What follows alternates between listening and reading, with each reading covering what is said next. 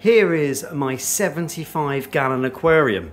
It weighs over 600 pounds, but we have a slight problem. The stand is cracking. It is cracking on both sides.